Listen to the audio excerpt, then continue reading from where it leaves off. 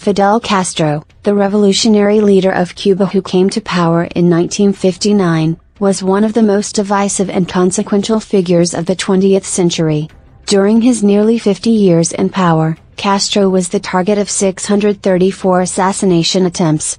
The CIA, anti-Castro exiles, and even the Mafia all made attempts to achieve this.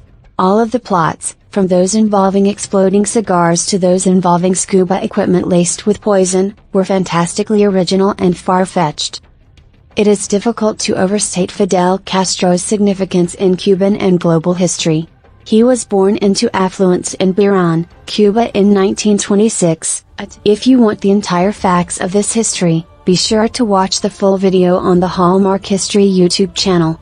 Please like and subscribe and keep discovering the wonders of the past. Thank you so much for your unwavering support.